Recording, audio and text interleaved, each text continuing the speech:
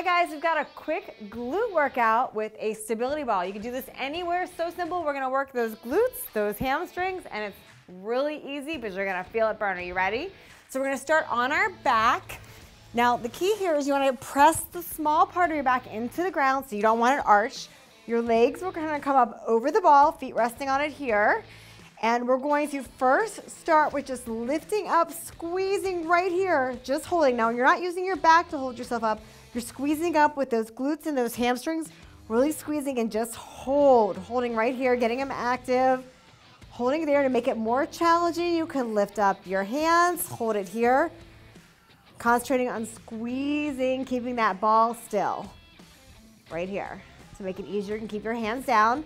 To take that up a notch, just lift one leg at a time. You're bringing your core into the equation, keeping your balance. Definitely feel this in those buns. Squeezing it. Nice. Next, we're gonna take it down. You're gonna place your feet, your heels on the ball, and we're gonna gently lift it up, squeeze, and back down. Now with this, you wanna make sure you're not using your back to lift yourself up and down. Instead, we're just driving through those heels, squeezing, pushing up, using those glutes, those hamstrings, squeeze up, and back down. Nice. Up, Whew. Now, there's no magic number or rep set with this. You want to do it until it burns, and it won't take a lot. We only add a few, and you can already start to feel it. Bring it up. Woo! Down. Give me two more just like this. Up. One more. Up. Nice. Okay, now from this position, you want to bring your legs out right here we're gonna work on those hamstring curls from that same initial position. Squeezing it up, we're just gonna curl it in and back out. Whew. In and out. Good job. Make sure you're breathing. Whew. Two more right here.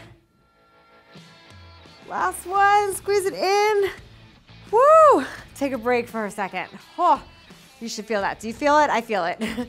now to make that move a little bit more challenging, I just want to show you something. You can make it a combo move. So it's up, out and hold, back and down. So you're making all of those moves into one giant combo move. Whew, you should really feel that. Okay, the next move I wanna show you, we're gonna take it up, all the way to the top.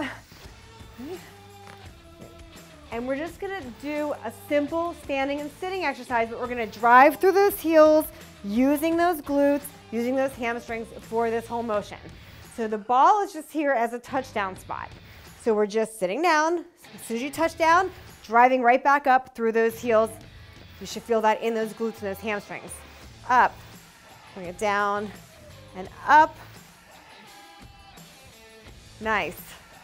Squeeze, down, up, tuck, and back down. So you don't need a lot of weight. We're just using our own body weight by, by concentrating and really driving through those heels, focusing on those glutes, those hamstrings, you'll really start to feel it. Good job, you guys. Now you can repeat the whole thing again if that was too easy. There's no magic number of reps. You can do it as many times through as you want. But if you really felt it after that, then you're good.